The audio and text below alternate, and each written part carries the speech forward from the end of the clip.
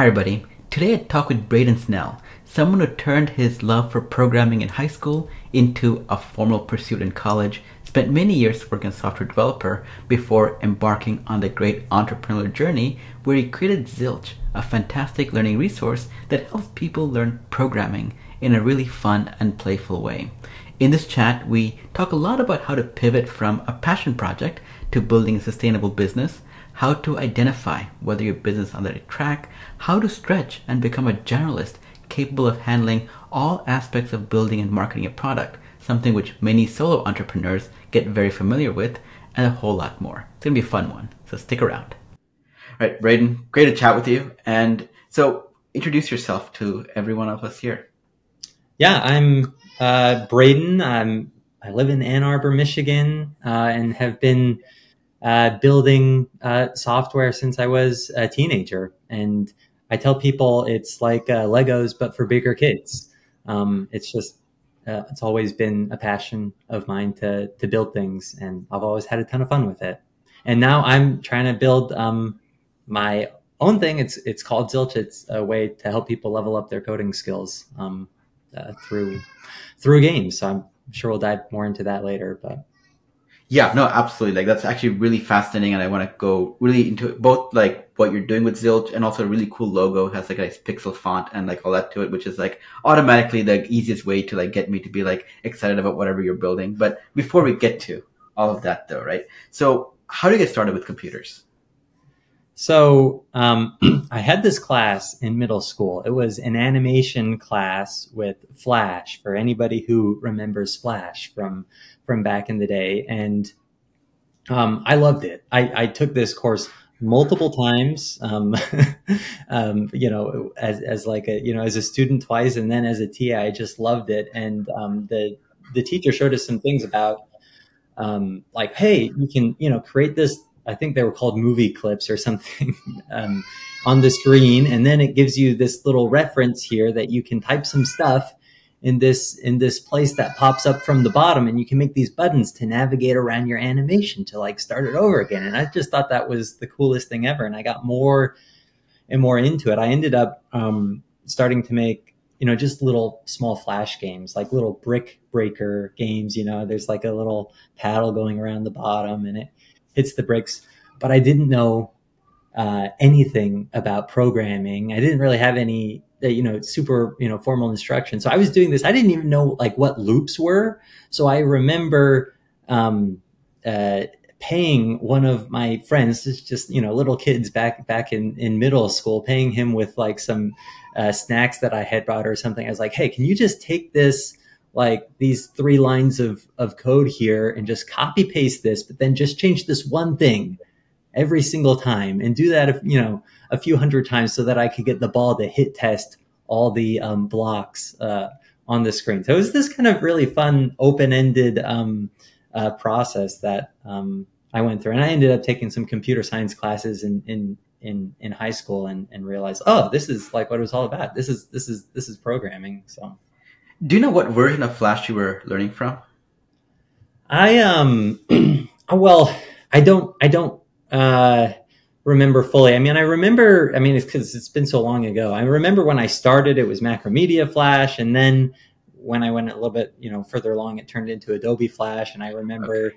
like the, you know, differences like oh, like ActionScript 2 and then now there's ActionScript 3 and um I don't remember the details, but yeah yeah, I, am dating myself here, but it might have been like Flash MX 2004, might have been the Macromedia version you were using.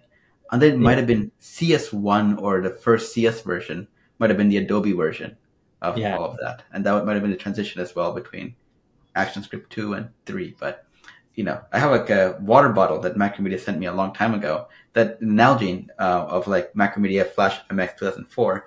And I still have that with me. It's one of the few things that I still like carry around. I'm like, that was a that's a fun little memento of a, of a fun era in programming and design and things like that. Yeah, no, totally. It was it was a lot of fun. And so in AP Computer Science, what was the programming language you were learning from? It, it was C++. Okay, C++. I know at some point they went they were Java, then they went C++, and then or, or was it the other way around? Was it C++ and then it went to Java? Or do you remember? Um, I know that my um, you know computer science that I did in in high school was just uh, C plus plus. I remember going into into college and uh, starting off with like Java, and then they switched the introductory courses from one thing to the other. And I remember it's like I just ended up doing Java without ever doing C plus plus in college because of like a switch that happened there. But I don't, I don't, I don't know. Yeah, because you know, there was no Twitter back then, and so when tech drama like caught mainstream like attention, it was like big drama. You know, to actually have like people talk about it. There's this whole big like you know discussion about like do we teach people object oriented programming very early on in their career so they don't need to know about memory management and pointers and all these things. And then there's another camp is like no, why should they need to learn about this stuff? The future is going to be object oriented programming. Let's move them over to Java, and that was played out for most of us in the AP course you know selection where you had to choose between like you know what am I going to do here? And it's like C++ even though you know all the intro college exams and all that were Java based. So it's always like fun to see where people stood at the time on their ideas of where programming goes. I think now I think Python might be the one that they I don't know but I don't know about AP college exams anymore but I do see a survey periodically about what intro college courses are taught in. And I think Python is by and far the the leading winner here because it's very English friendly and also it has applications beyond so many things like robotics and data you know data science and, and all that. So it's like okay it's a good gateway programming language to take you into all these other various areas. Yeah and i, I mean people do have strong opinions on this and, and and maybe i'm one of them but i think starting off with a language like python or you know something like javascript something where you can just get results out quick and get something that feels exciting quick is so important because uh, then that gives you the steam that you need to you know to keep going and, and to dive into other stuff that you're interested in. So i love the i love the the, the, the languages that are you know just a, a little bit a, little, a few less concepts that you need to to get rolling with Oh no, I completely agree with you on that. You know, which is why I kind of end up like liking JavaScript a whole lot as well as and HTML, CSS, and JavaScript because you can go from like not knowing what you're doing to having like a hello world or your name printed on screen very very quickly. So you're like, oh wow, I can now take that and then slowly start expanding upon it, which I think in many ways was like the magic that Flash provided for so many of us back in the day. It's like you're drawing a square rectangle, like okay, I drew something and it's running on my screen. Great, I, know, I can do that with like an image editing tool. But wait, if I click on this now, it does other things, and that slowly gets you excited to kind of you know, it's a little bit of gamification, but it also just gets you more comfortable with like exploring the unknown. It's kind of like you know, you can jump into the deep end, or you can have these stairs that take you one step at a time so your fear slowly decreases with each subsequent step that you take. And I think that's what I think object-oriented programming and definitely Python and JavaScript and all these other more modern languages we see today are really helping with. And you know, I think once you learn that, then you're more like, okay, now I want to learn the more advanced nitty gritty concepts because I am curious to know how these things go. I think your ability to retain that knowledge and explore it becomes so much better. And, you know, for most part though, I, my AP computer science class was C++. Hmm. And with, I remember using like Microsoft Visual C++ 6.0 or one of those things where I'm like, okay, just launch it, new file, play, it just works. And then they eventually moved to a newer version of C++ in the middle of the year where it was no longer create a project, type something in and play. Had like, you had to create a project. I'm like, what is this project thing? Like, why, am, why are these other files in my, you know, my thing here? Like, I just want to add something to it. What's going, like, and how do I link this new thing that I created with the old thing that I created, like in my class, like a couple of months ago? That was like a whole new world where I'm like, what is this whole build tools and that whole environment is absolutely, you know, complex to the point where I'm like, it's not even fun anymore and that's likely the web was much more straightforward. Just take Notepad, type in some stuff, open your browser. Doesn't even have to have an HTML extension to it. It'll figure it out. And and that was a, a fun world to navigate from there.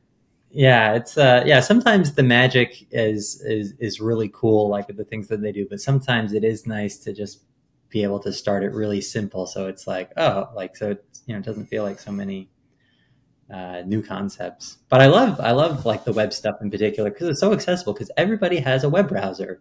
I literally like um uh, like with my brother-in-law um, when he was uh, first uh, uh, getting into coding it's sit down in, in front of a web browser and it's like we don't even need to leave Chrome. Like we just open the dev tools and like create like a little snippet. It's just like write these few lines of code and boom, you can have a ball bouncing around on your screen. And like that's like that's powerful. Like to, just having that low barrier of entry and just immediately seeing something tangible and visual that gets you excited about learning. And with WebGL and WebAssembly, it almost comes full circle where some of your knowledge in C++ or C actually comes back to kind of enhance what you're actually seeing in your in your browser. So it's kind of like the web went a different path of like we're going to go simple, we're going to do all these things that are very different, and then it kind of combined the best of the simplicity for most things you may be doing to more of the complex lower level capabilities, so you can bypass all the abstraction and the performance bottlenecks and go straight to the GPU or the you know the hardware directly and do some really compelling things. Like you know, every time I see Figma, and I'm just like blown away that all of Figma is entirely just a you know a WebAssembly web GPU based project. I know, yeah. Figma blows me away too. I just read, you know, some of their engineering blog posts and stuff, and I'm like, wow, this is this is crazy. This is really cool. Yeah, I, I think they got Photoshop working in the browser now as well because the transpilation from like the legacy C or C into you know into WASM was just like doable now. So it was like pretty, you know, performant in a browser environment, which is again like something you have, if you explained this to me like years ago, would have been like not possible. And it's almost like what Flash was trying to do, which is like take more of these things, abstract away the details, and have it run in your browser. That was scary for a lot of people at the time. But WebAssembly is almost this like backdoor way of getting to that world again, where it's like, yeah, you know, you're writing in a language that is different than what ultimately gets compiled into. But the output though is almost the app replacement. You know, it replaces apps in so many ways. Yeah. Have you um oh gosh, I'm forgetting the name of it now. It's not Code Sandbox, it's um another one. Ah, it's another one of those in browser ones, but they have they've d- literally taken Node.js and they've like compiled it down to WebAssembly. Oh, Stackblitz. Stackblitz, yes, yes, yeah. Stackblitz, yeah. Like, I mean, there's really cool stuff that like you know folks folks are doing with some of this. Yeah, like I think they use web containers It's a technology they use for you know all this work, and again, it uses WebAssembly and all those things to make it happen. No, it's a it's a really fun space. You know, I, I don't know if you know this, but I spend my time working on a browser based IDE at Google. And so for me, like, this is like, I did pretty much like the thing I spend all my day, like thinking about figuring out like how to make it faster. Where do we draw the line between abstracting with the details versus giving them a full environment? You know, in our case though, we give you a full VM. So you can still run all your terminal commands. You have legacy support for all the things you might want to do, but pros and cons to all these approaches. So, you know, I think there's a, it's a rich ecosystem there that's going to be built around figuring out what is the best way to take what's running natively on your local dev environment and just have it run in anywhere. You know, it can be a Chromebook or an iPad and just have it work. And that's an exciting space, which is partly why I spend so much of my of my daytime figuring out working with my team on how to pull this off. How does so? How does what you're working on compare to like GitHub uh, Codespaces? Is is this like I don't even know? Is this a, a internal Google thing? Is this an external? Uh, it's external. You know, it's currently on a wait list, but you can try it out. You know, we process you very quickly. The yeah. biggest difference is that you know I'll say I'll talk about similarities because yeah. VS Code is probably the most popular IDE that people use outside of like very specialized ones for like let's say Xcode or Android Studio and things like that. We wanted to make sure that we built on top of VS Code. So we're using Code OSS, which is the official open source version of Visual Studio Code. And so our product is built, it's called IDX, you know, letter ID, letter I, letter D, letter X. And so we're built on top of Code OSS, which means that all your familiarity of your, you know, if your projects work in VS Code, is going to work in our environment. And a lot of the extensions are available through the Open VSX marketplace. So your VSIX files will all be available. So we oh, know nice. one of number one is like minimizing the friction it'll normally take for you to go from like I have everything set up. I'm familiar with this environment to I want to try something new. So minimizing some of that. And the bigger difference I think what we provide is we are trying, you know, we like, there are multiple terms like to use. One thing we like to call it called batteries included. So if you're starting a project, if you, we give you a variety of starting points pre-configured for whatever you're trying to do, whether it is a web app, we support all the various templates you might see. And it's very similar to what you might see with Stackblitz, for example. You can create like an app across all these front end and back end frameworks. We also are big into the mobile development space. So if you want to have like an Android emulator, for example, that gives you like a real, like an actual more accurate representation of what your app looks like, we give you all those capabilities out of the box with any configuring all runs in a VM again. So building a Flutter app or in, even a web app, we're going to preview it on an Android emulator. We give you all that out of the box, which means that you can be on a low end device. You can even be on like, I've seen a lot of people on Twitter posting screenshots of them on their little Android tablets now doing full scale backend front end development using what we're building all from just their browser. And so our goal really is like, you know, if we say that it's a commodity now to have a dev environment running in your browser, what can we do to add more value to it? And that really is the the friction and the just the complexity of like figuring out what frameworks to install, like what how to configure my build machine. Like for example, if you're building a Rust app, the amount of CLI tools you need to install to configure to go from like, you know, I'm writing in C++ to now having it output be a CLI tool, that's probably way too much for someone to figure out. And so we want to kind of pre-configure environments for all these things. So one can imagine, you know, which we might do is like, for example, WebAssembly and WebGPU and all these other cool things that are coming out can we create an environment so you don't have to worry about like, do I use CLang or do I use, you know, any other kind of compilation tool and give that approach? And of course, because we're built on top of VS Code, if you have a GitHub repo of existing projects, that integration just works really, really nicely. So it's really about simplifying the, the world of development from a professional developer point of view. But the, you know, the last part I think is really big is the whole artificial intelligence space. You know, Google's been investing very heavily, of course, in, in AI for code completion and code generation. And so we want to make sure that is front and center in everything that we do.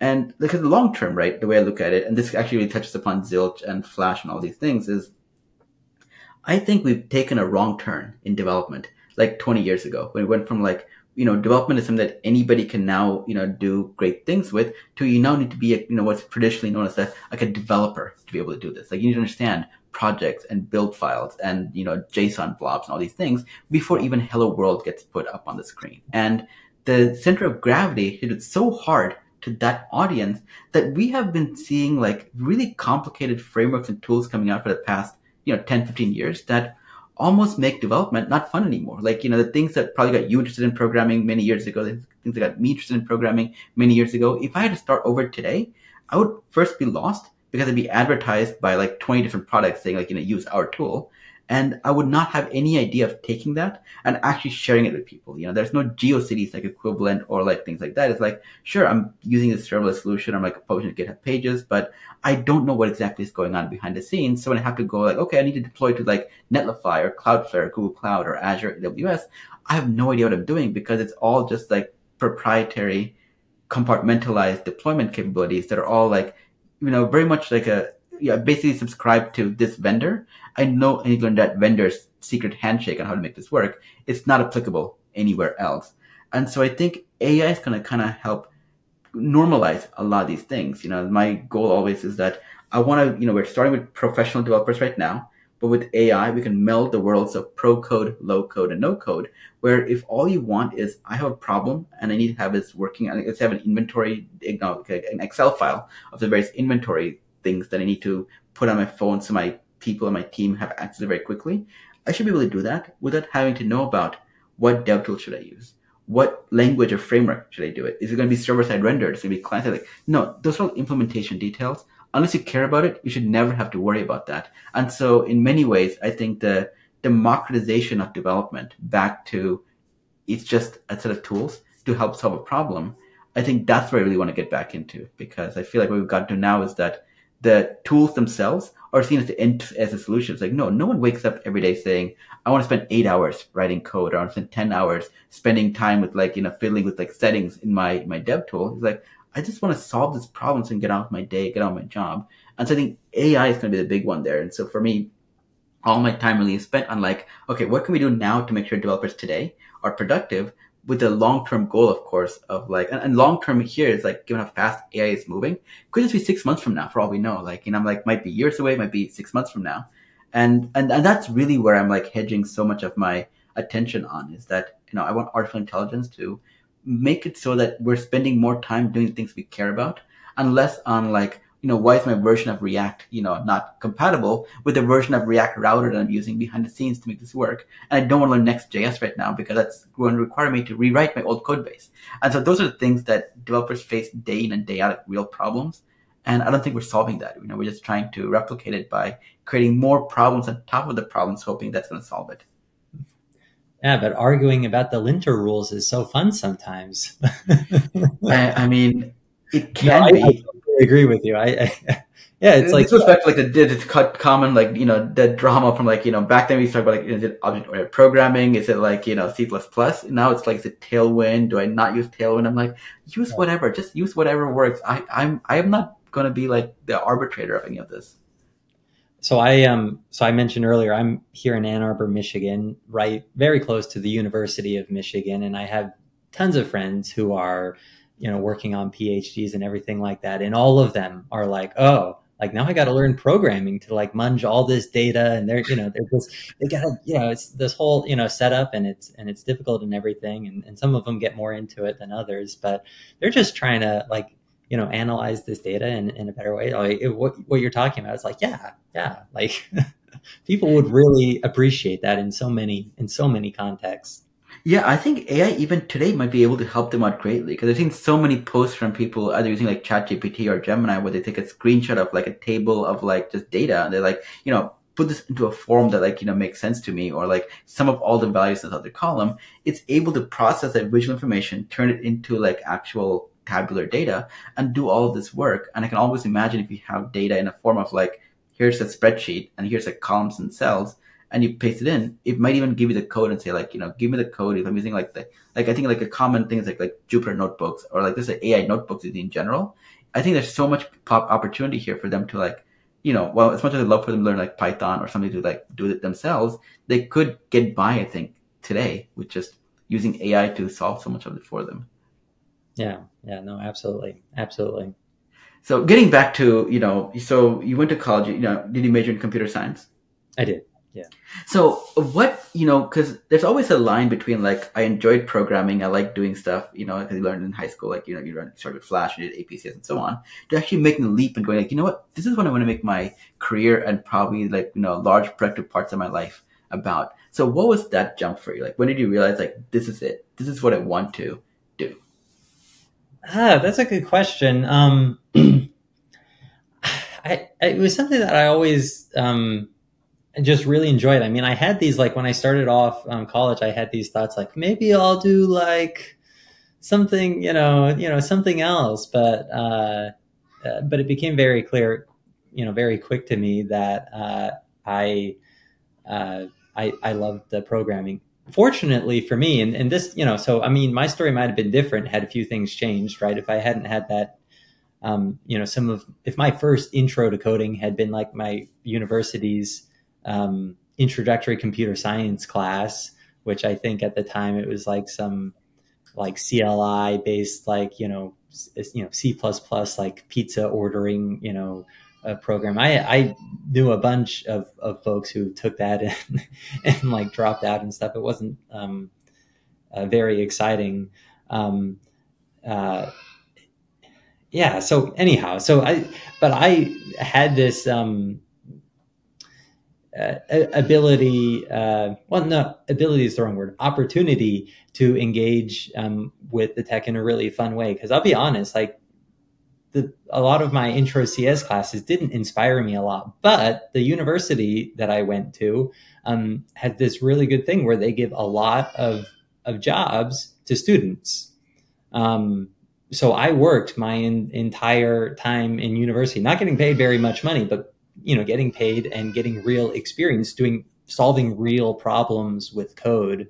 And um, I think that was was a big thing um, that that pulled me along in in the right direction or, or it, maybe the right direction is not the right right word but in the direction that I went um, to follow with with computer science and stuff. Yeah I mean that's actually fantastic. It's one of those things you never realize unless you look back at like the small things that could have gone differently that would change the path of your career in a massive amount of way. Like if you just didn't have that kind of a class or the opportunity to kind of figure out like, you know, I can make a living doing this or I'm uh, other way around. It's like, you know, I have a job doing this and that's part of doing it. You're like, I actually like this a lot. I'm going to go further into it.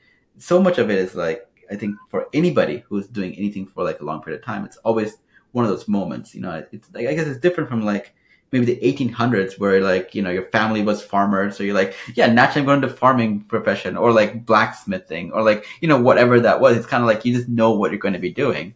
I think for a lot of us i guess last 100 years or so it's like yeah uh, what you know what my families might have done may no longer be the thing that is like the thing that you know i have to do because there are just so many more things that can be done with like minor adjustments to hobbies and interests and and practice. So no that's actually really cool yeah, no, absolutely. Yeah, it was it was fun. It was fun intro it, to get into it. So yeah, and so from there, you know, uh, you you worked at companies, you you know worked on projects and things like that and then you made the leap to entrepreneurship. So what was the what was the the point? I, I don't want to say breaking point because for a lot of entrepreneurs, it's like it's like that's it. I'm done with like all the corporate, you know, the complications and organizational bureaucracy and just the challenges of it. For others, it's more like okay, I learned a lot of great skills, and now I want to like try to see if I can do things on my own at scale, quicker and faster in a direction that my company does not really do. So I'm not gonna, I don't want you to answer like why you left corporate life to do some of these things, but you know, I'm always curious to know though, like what was the jump like? You know, because on one hand, it's like you have stability, you have the, you know, you know exactly what you're doing as part of your day job when you're working at a large corporation or you know any tech you know environment, and then you're going at your own, which is almost like you know, it's not even a case like we talked about earlier where you're jumping into the deep end without stairs. In this case, like you don't even know where you're jumping into. It's like basically just have a rough idea of the destination and everything else you're defining along the way. Yeah, it's hard. it's um yeah, it, it, it is it is difficult and more difficult than than I thought uh, it it would be. Um, it's interesting. Like so, my um, getting into the world of entrepreneurship has been less about me wanting to like just you know start my own company one day or like you know be a, a ceo or whatever. And and more about this side project that i had been working on for some time uh, called zilch that um, friends thought was pretty cool and i loved tinkering with. And i was like I'd like to to to see if I can build this into to something bigger because I love I love building.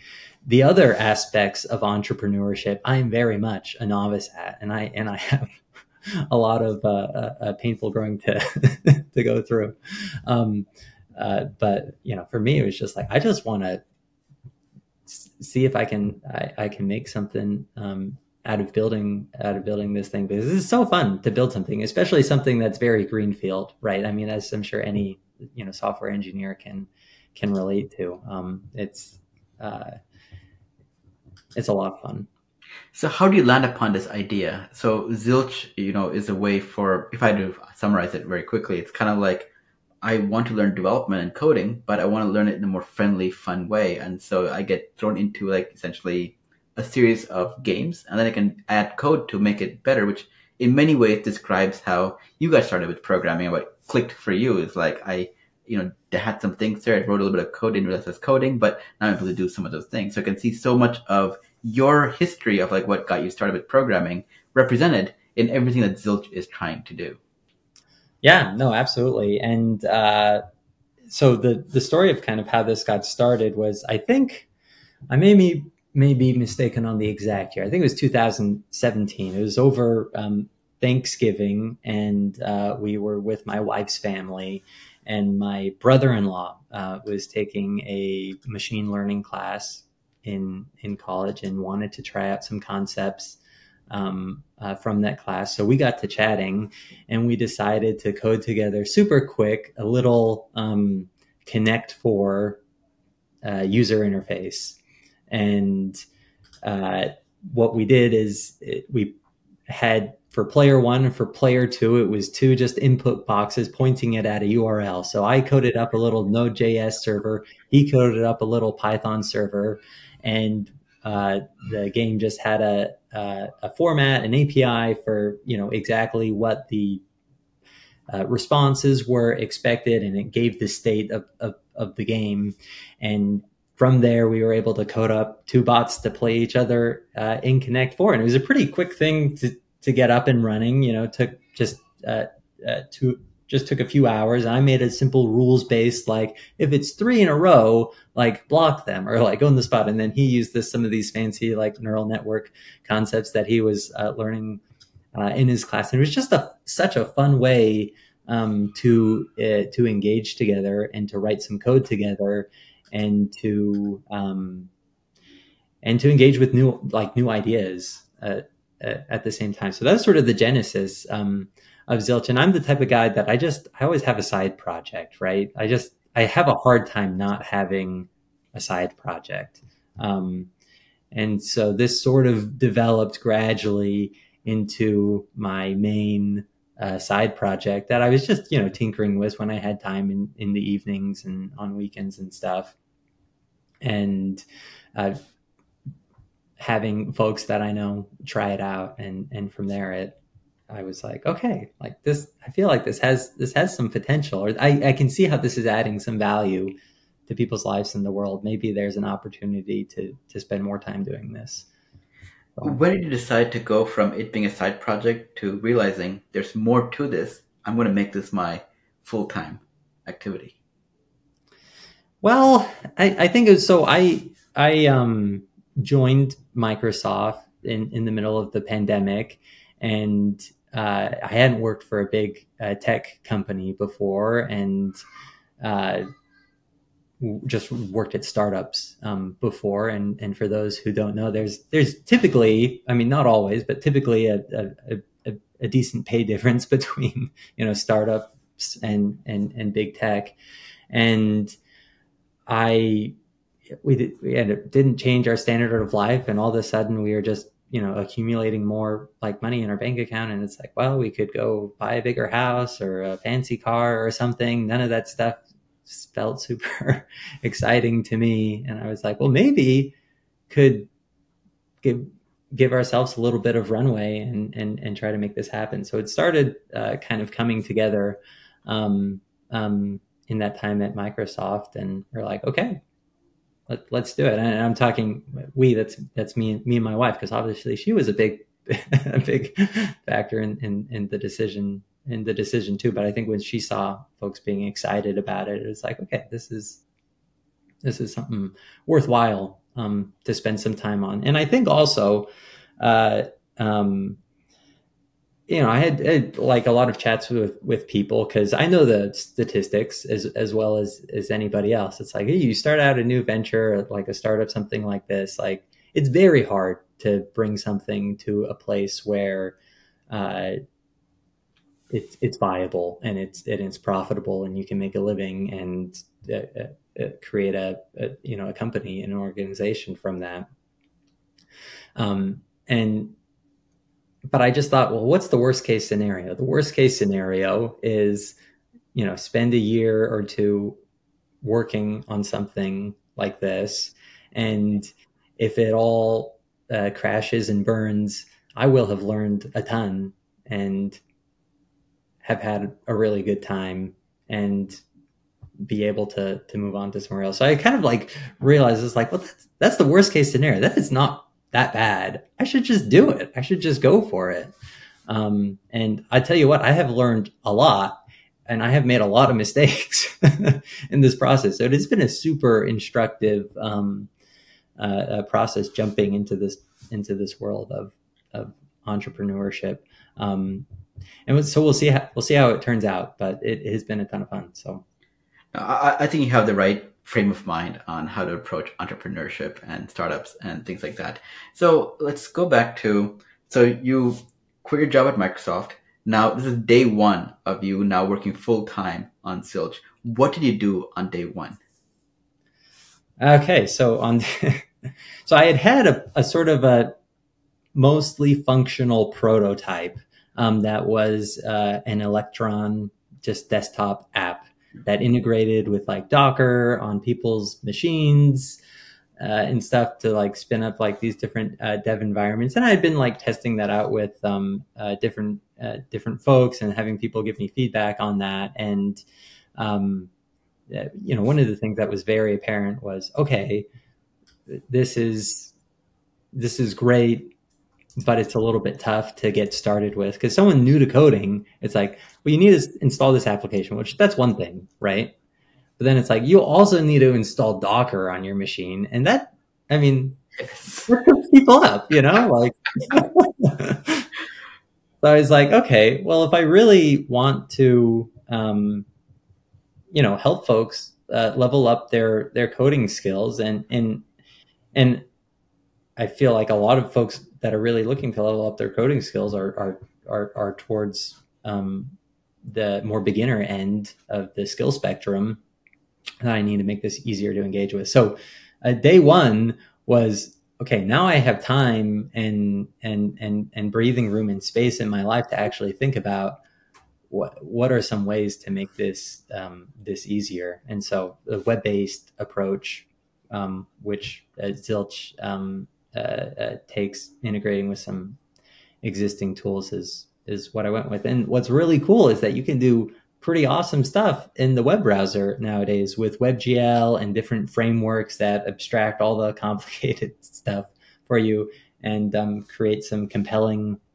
compelling visuals and things right in the web browser without even needing to um, uh, be outside of that environment. And it's also also something that I'm familiar with just in terms of my career and what I've done uh, before as well. So yeah, so day one was like, okay, I'm gonna like architect this new app. If I could go back to day one, I would change what I did. But they, that's what I did do on day one. Was like, I know what I'm gonna build, and I'm gonna you know build this whole thing after getting. What would you have changed if you had to go back in time? If I if I had to go back in time, um, I I had someone explain to me. Uh, uh, this not long ago. Hopefully, I don't do a, a I don't butcher the um, analogy, but when you're starting a new uh, company and you're looking to create something that really adds adds value uh, to the world, it's better to be pulled by demand rather than to push an idea. It's like a piece of string. Like if you push a piece of string, it's not going to have an effect on the you know the object that it's attached to. But if but if that string is being pulled then it'll actually have a an effect. Um, and so uh, going back to day one i think that i thought that i was being pulled um, by some uh, interactions with very friendly audiences with friends and with family and with you know this you know group of individuals and was like they think it's useful. They you know they you know they they think that this is a good idea. But uh, going back to day one i would have engaged right away without making any code and making any changes to my code or, or starting to develop a new thing right away engage with um, who I thought the actual users of this would be to make sure that I'm, you know, building something that is really lockstep with exactly what they need and have every decision be informed uh, by that. But and I mean that all sounds obvious enough. Um, but you know, I'm a software engineer my entire career, and you know, I just you know you get a little bit of feedback from people and you have you know great product managers and stuff the you know voice of the user you know in your team. And i just didn't have um, and i'm still building the this the skill set to really um, engage engage um, on that level. But boy i have built a ton of empathy um, uh, since I've started working on Zilch for all of the different people throughout an organization that make that make the different aspects of of a company um, work from sales to marketing to um, just everything right? It's it, it all of it, it um, are di- are difficult jobs that require folks that have have a lot of skill. So and I and I'm learning that more firsthand right now. Yeah it's always a fun thing. It's just very common among startup founders is that when they do wear all these various hats, they have a new perspective on like why was that person telling me this like X number of years ago, or why did that feedback go? You know, why would we not react to that customer feedback? At that time, you're like, okay, I'm just gonna you know disagree and commit and just do what I'm, you know, I think it's right. But now you get a different perspective. It's Like, oh, now it makes sense. It's like I can see why that feedback, as loud as it was, was not the right thing for us to focus on, or you know, any discipline, sales, marketing, legal, and all these things. You kind of understand the constraints a little bit more. Yeah. No. Yeah. You absolutely, absolutely do. Um, so it's um, big big big learning opportunities and honestly even that has been valuable um, um, to me just to um, uh, uh, to step into that because there's some things that you can hear and you can learn about right in a, in a theoretical sense but most things in life i found in this and you know just a lot of categories of life if you really want to understand something you got to experience it and you got to be um, in the moment and, and have those experiences. And that's where growth happens. And it's yeah, a hard I think, to be in, but it's a good place to be in i think. Exactly. I think like one of the more classic phrases and i'm probably butchering it as well is that you know you can read and watch as many videos about swimming as you can but until you actually take the first step in the water you won't actually know anything about what you've done so all the theoretical knowledge kind of goes out the window when you get to feel like the you know the water in your toes and like you're actually you know, hopefully floating, you know, as you jump into the, the pool. Yeah. Yeah. No, absolutely. Absolutely. You kind of need to, you need to live it a little bit and be, and just, yeah, just allow yourself to be put in a position to fail because that's a yeah. scary place to be in. Um, but it's where so much growth uh, happens. So, so when you said like you realized that you know you want to be working on things that there's demand for as opposed to trying to kind of force features and things that you think or you think are the right things for people to do what what changed like when did you you know what made you realize that i'm focusing on the wrong set of things that i need to grow my business and what was the first thing you did at that point? Was it kind of like stop what you're working on right now reset your roadmap or can you walk me through a little bit of that? Yeah it was a slow realization over time just building um because i was so heads down coding right? So heads down like you know building this and building that. And i would get like little bits of feedback and stuff from uh, uh, you know from folks but just not uh, not from the right people. It's when i started speaking with um uh, like high school teachers and and college professors that i started being like oh I should have done this way earlier. and and and then um, there's a little bit of a delayed reaction, but then it was like, okay, I need to really talk to people and understand, um, you know, where they where they're coming from in in a better way. Yeah, no, that's uh it's one of those things that when you realize it's like seems so obvious, like you mentioned, right? It's like, of course, yeah. that makes a lot of yeah, sense. But in that right? moment, it's always tricky to realize that, yeah, I'm happy driving on the road, you know, realizing there's a parallel road you could be taking that could be a better one. Yeah. Yeah. And I'm sure like a year ago, former Braden um, could have given a more compelling answer about the choices that I made then. But today's version of Braden, having learned things, I just look back on that. I'm like, it looks so ridiculous. I have a hard time making it even sound um, um, uh, sensible, just because I'm like, yeah. so, what was the feedback that students and professors, I mean, college, I mean, high school teachers and students, gave, I mean, professors gave you that you know you're like, oh, that's a, that's an interesting way of thinking about it. So, I mean, so one of the things, um, like in a conversation that I had with um, a, a, a professor was he's like, yeah, this is great and this is cool and everything.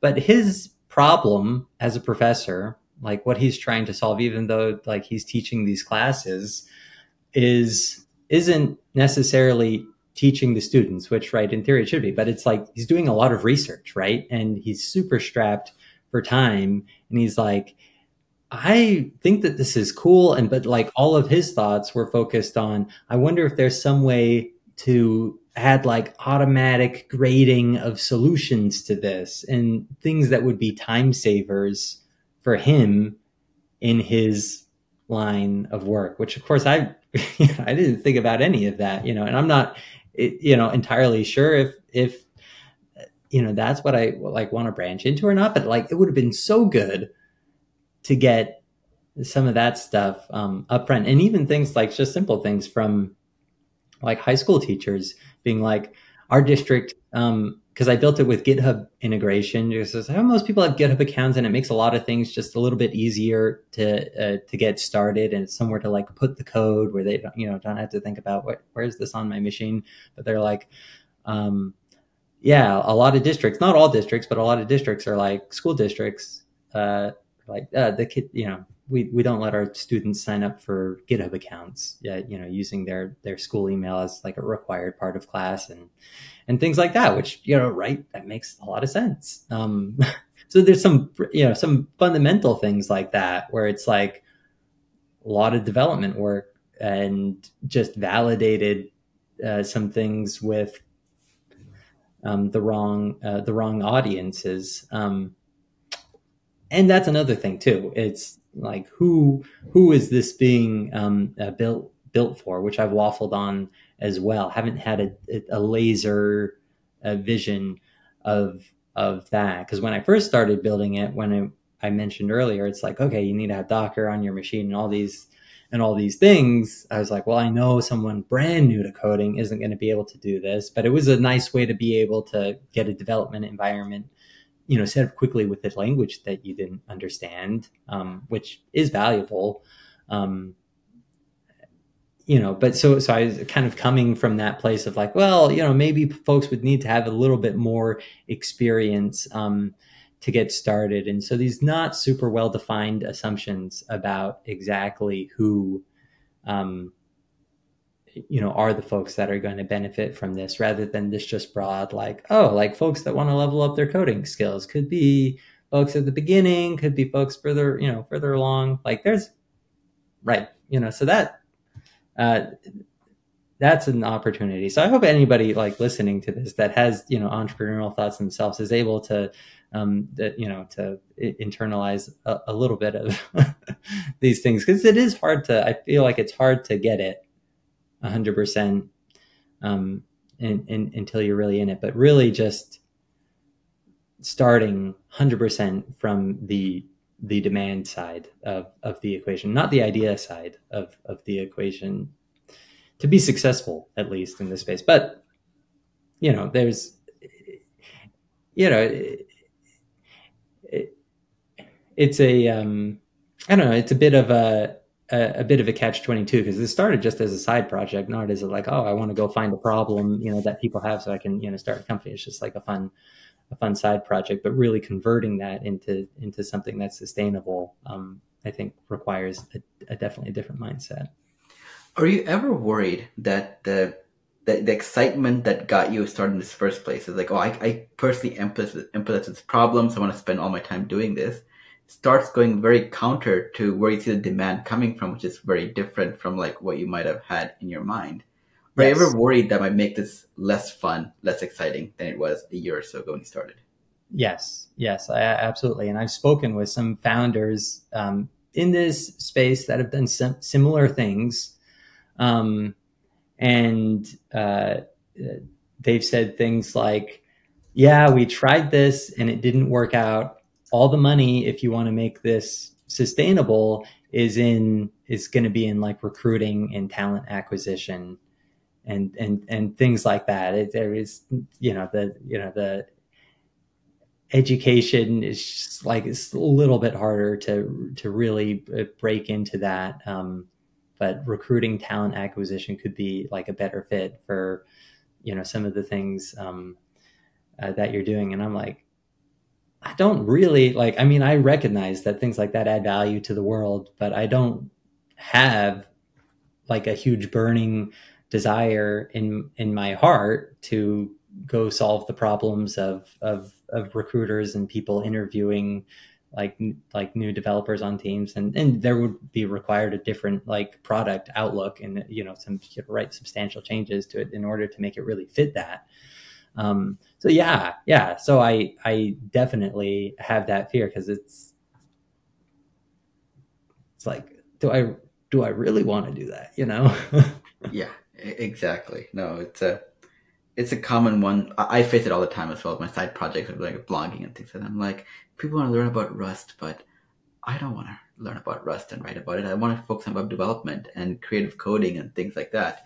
And it's a tension, you know. At, at some point, it becomes a, a labor of love. You just enjoy doing it, and it's a, always a question of like, is it a business? Is it a passion project? Or can I somehow combine them both where I don't dilute either one of those important parts of the equation? So tell me about um, Kirupa.com a little bit, just the history of it, how it got started, where you've had thoughts of entrepreneurial mindset with regards to it and everything. I'd be curious to learn. Yeah, no, it got started purely as a as a hobby. I had no idea that it was going to be a thing in most ways. I started playing with Flash, and I started creating some stuff for fun. And I posted on GeoCities. You know, I think had like a whopping one megabyte of free space, which was just enough to put like a few you know SWF files up there with like the index HTML file. And the thing is, like, I was so new, I had no idea what I was really doing, right? And half the time I'd just be uploading my SWF files and I didn't realize that my HTML file needed to be renamed something different than whatever it needed to be. So I'd just be overwriting the old HTML files every single time I'd upload. So only the most recent Flash file that was uploaded would be, re- would be like referenced in the, in the markup itself. Like I, that's how primitive my understanding was of how everything worked. Right. And so that kind of got me thinking more about like, okay, let me learn more about this. Let me learn like how to do some of these various things and so on. And that started getting some traction amongst people, especially in my, my friends, and they were like, "Oh, how did you create this? Like, you know, how did you make this all work?" And so, so I spent time like writing small emails and like emailing people. And I was like, "Oh, here's how I built this," and things like that. And as it turned out, that wasn't very scalable. I couldn't email people over and over again, and nor could I, you know, basically say like, "Oh, I replied to this a couple of weeks ago. Just go and check this out." This I'm sure news groups were probably around at the time. I had no idea what they were like. I, I feel like Gopher, like all those other services, might have been those kind of things. I didn't, or Usenet, you know, those sort of things like I, I didn't know what they were. And so I was like, yeah. let me just go ahead and write this and put it in like an HTML file and like put it on the web itself. So that way I can just point them to it directly. And so at that time, both Netscape Navigator and Internet Explorer came with free versions of web editors. I think Netscape Composer was a Netscape version of it. Front Page Express was the version that came with you know the Internet Explorer browsers. So I used that to just copy and paste like you know my email things and share it with people. And doing that, I learned about like, you know, what's a, what's an, what's a link? You know, how to link from page to page. So I don't have to like have people in email like see five links. I actually have the links be there directly, and yeah. and that slowly you know created this effect where I'm like, okay, people are asking me questions, I'm answering it, it's getting a lot of popularity. And I created my first forums at the time as well because I couldn't handle the questions and support on my own. And at that time, Ezboard was a solution there. It was like basically what we would call a B2B SaaS service. You know, you basically sign up for your name, you get like this weird URL, but you could basically create categories and have people post forms and, and questions and things like that without any worrying about like, how do I host it? How do I deal with all that stuff, right? So this was probably like early 2000s, like, like 2001, 2002, essentially at the time. And that became really popular. And I think it's popular in many ways, mostly because there wasn't anything else out there like it. You know, there was at that time FlashKit was, you know, was around, Ultrashock was around, and, and a lot of my top, of course, to back up a bit, what I wrote about was, of course, Flash and ActionScript and how to make things work in that environment. So that's why I was referring to like, you know, FlashKit and Ultrashock and all these others. And, and so it's like fun to be very early in a space where I don't know if they, you know, I talked to like some of the people who were worked at Ultrashock and also on FlashKit. You know, even now I keep in touch with them to see like, hey, how's it going? You know, what's what are you working on and so on. And they all had a good idea of what they were doing.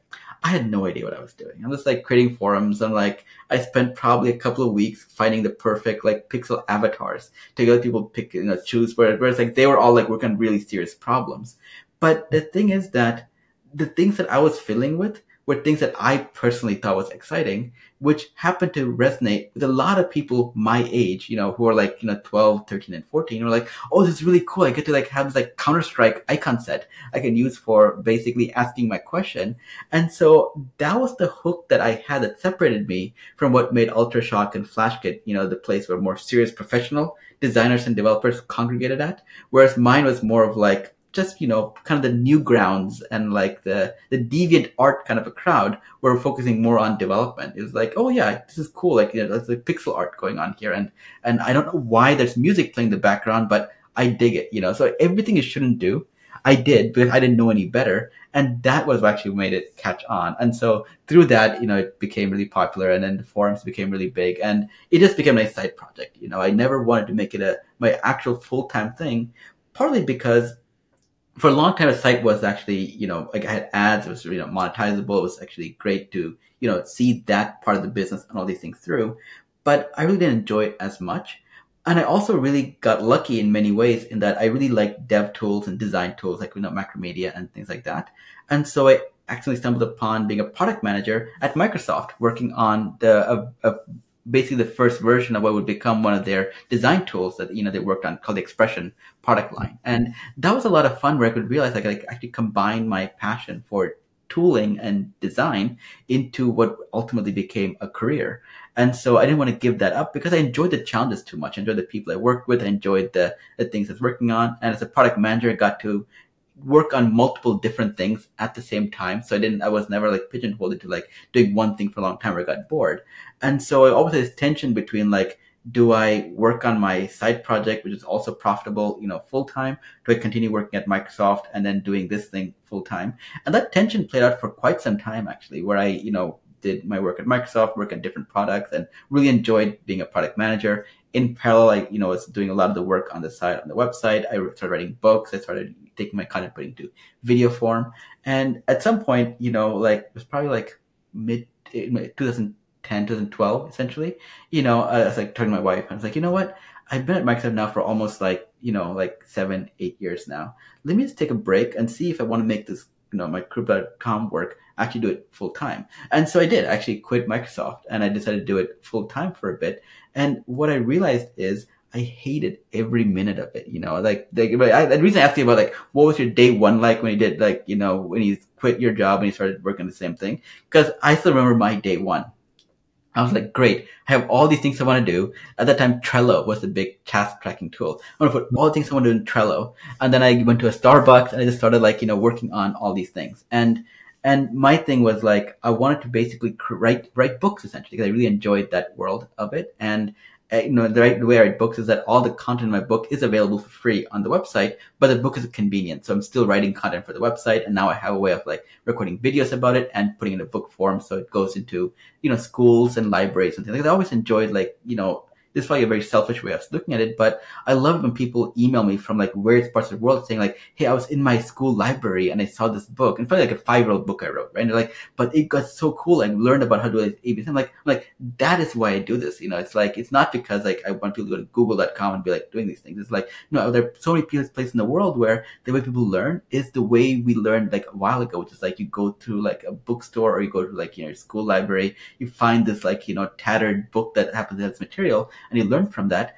and and that's why I always was like, this is why I do this is because I want to take all my content, put it into a form that can go into all these parts of the world that I would never be able to get to myself. Like you know, self-publishing via Amazon, for example, doesn't help with that because it requires someone to know and buy and then ship it, and most libraries will not take content from Amazon for quality reasons. And so you know the hassle of like with publishers and so on was worth it because I was reaching an audience I could never get to doing that. Now, the problem was, you know, so during that time, like I think I, I, took about a year off to work on this. I wrote about three books, and I still update edition of this books right now. So I loved all part of that. But what I absolutely hated was a lack of social interaction with people around me, because like so much of like the the things that I did, the people I spoke to and worked with, and so on, were colleagues from work. Most of my friends were colleagues from work, especially like went to Microsoft from college. So all my friends in the age group was one where like more amenable, just meeting people and like, you know, all these things. And I realized when I was working on my own, there really wasn't that outlet for me to have these kind of creative conversations. And so that's when I was like, you know what?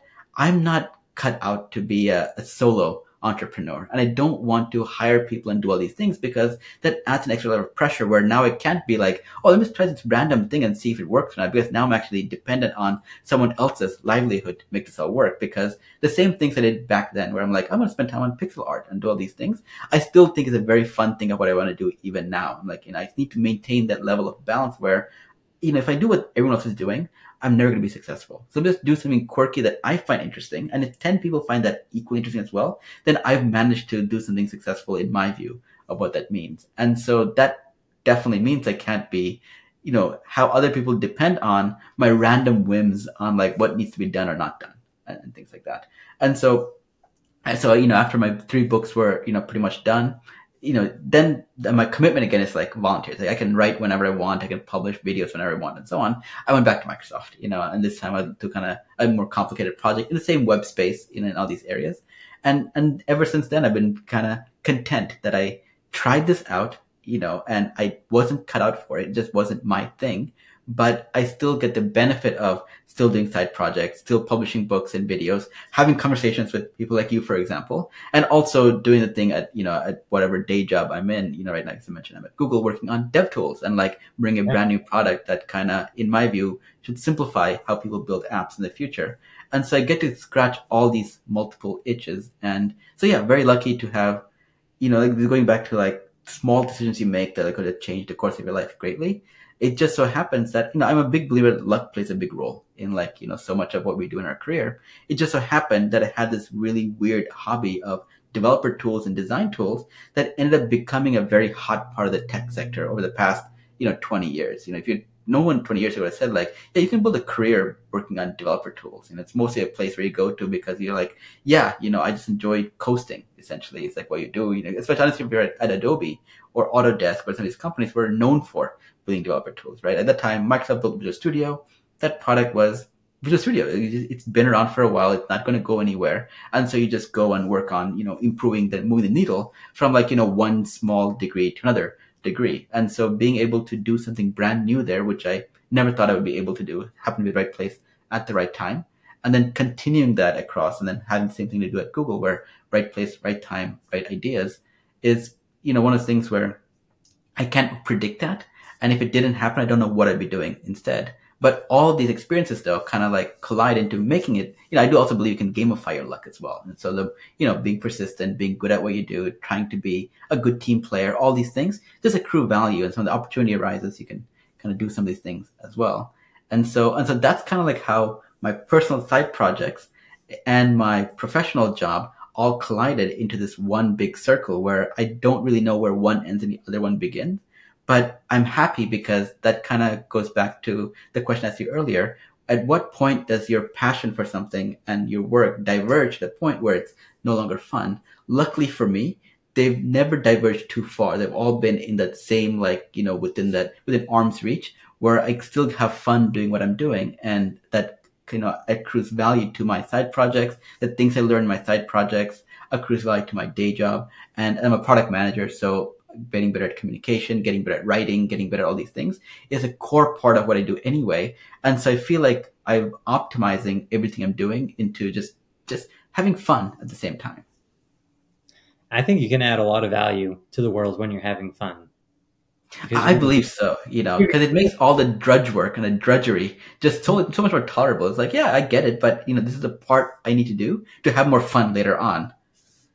Right absolutely, absolutely. Well, I'm glad you've you've had fun over the years because I think we talked about it a little bit before uh, you press record. But I per- personally found value from like the things that you did, so which was so cool that we're able to um, uh, connect when I first got into when I first got into Flash and, and reading. Yeah, no, I, am glad to hear that. And you know, like I was mentioning earlier, like you know, the age group of when you were interested in that, and the age group I was when I was interested in like doing all this stuff, fully synced up. Which is, I think, that was my target audience. Really, is like people who were at that stage of their life who are doing things in school or like in college where you know, yeah, I'm I'm open to trying out like you know, what does like making these circles move randomly accomplish? I have no idea, but it is fun though, so I'm gonna learn it anyway. Whereas like the other sites were teaching like, here how to get an MP3 player, how to load data from a database. And I'm like, I'm like, that's boring. I get it. I know it's popular. I'm not gonna do that. I'm gonna do like, you know, how do you create a random like a flash photo gallery? Except the images will load randomly, not in sequence. You know, so I was like taking a taking a different path, but that's the thing I'm also realizing more and more of as well, especially when I look around is like so much of like when we look at like web design and development has been compartmentalized. It's like it must look like this template design, it must look like this kind of a world where it kind of the creativity and the and the bizarreness that made it so much fun, like let's say 20, 30 years ago, is just no longer there. And that's something, you know, in, in a lot of my talks, I talk to other designers and developers, I spend at least a few seconds like ranting about a little bit because I'm like, you know, the, it was be so much more fun back then. And we've gotten to this point where everything needs to be done in a way that the Twitter algorithm will boost it for you, the LinkedIn algorithm will boost it for you, the Facebook icon will boost it for you, or YouTube, for example, which means your thumbnail needs to be in this format. The link to this video needs to be in this format, because if it's not, no one's going to see it, which is very different than what it was back then, because back then you decided whether you liked it or not. It's like, oh, I like this video. Great, I'm going to watch it. It wasn't something that had to follow a predetermined pattern. And so those are the kind of things that always like at the back of my mind, I'm like, there has to be a better way but I can't fight the very system that is driving traffic to the content that I'm actually creating. And so that creates this like weird, you know, incentive structure where I'm just like, I know I'm not doing the right thing here. Like I don't want, I don't want to create a video of this format or a template that looks like this. But if I don't do this, I'm basically just talking to myself at that point. Which I guess is, is why it's important that you have the intrinsic, the intrinsic sort of motivation and desire of just finding value in the thing itself Exactly, exactly. And, you know, using it as a way to just get better at any of the skills you've been trying to get better at. Like, you know, as a startup founder, you probably now learn more about marketing and how to, you know, structure landing page, you know, call to actions and how to do like developer relations, all these things, which you may never have had to do before. So, you know, whatever happens, those skills will stay with you forever, you know, no matter what happens here. Yeah, yeah, and it's good to be to be uncomfortable to get into things like that. But there is, but no, I just love what you're saying. It's, it's there is this component of fun that I think um, has the capacity to like change people's lives in like really meaningful ways that are about more than just fun. Because I mean, if I hadn't, you know, like fun was my entry into software development, which gives me you know the means to uh, you know provide for my family and you know do you know so many good things and and you know the freedom and and the you know lack of stress. I mean there's so many like just healthy and like good like uh, good things like right for society. So I, I there is there is uh there's a lot of value to just capturing people's imagination with that fun to to get into a, a sort of space where you can actually, um, you know, add a lot of value to to your life and, and to society by engaging with that. Yeah. Speaking of fun, are you also the designer for everything you see on Zilch? Yeah, I, I am. There are some um, assets on there um, that are uh, like Creative Commons like some of the 3D uh, stuff. Like I didn't build the chessboard. I did design the tic tac toe one by hand though in Blender. That was fun to learn the 3D modeling. But yeah, no, that's very cool. And also the logo, was it you who designed it? Yeah, yeah. I've I've always had kind of a foot in the the design and a foot in the uh, development naturally, and it's it's yeah, no, I, I, cause, you know, I mentioned before, I don't know if it's in the recording or not, but I love pixel art. And so like when I first saw this, I'm like, wow, this is amazing. It, it blends like, you know, retro, like, you know, 8-bit gaming with like basically teaching you how to program, you know, by building some of these games. So that was like really fantastic. And so the avatar editor that you created, you know, that's probably one of the most fun things I've ever seen, where you actually have a grid where you can actually do what, what was basically the pixel art sprite editor you might have had like back in the day, you provided for people to basically use to create their avatar. So that's actually what was the story behind that? That that strikes me as like a, a fun, quirky thing that adds personality to what you're building.